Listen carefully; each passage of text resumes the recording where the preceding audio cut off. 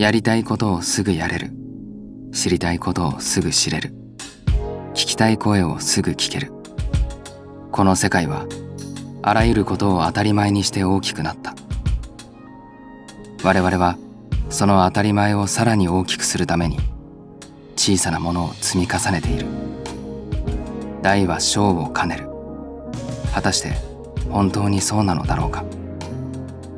世界は一見何の変哲もない小さな積み重ねによって大きくなるのだ。今後訪れるサイバー空間とフィジカル空間が高度に融合する社会。本当に人間の可能性は計り知れない。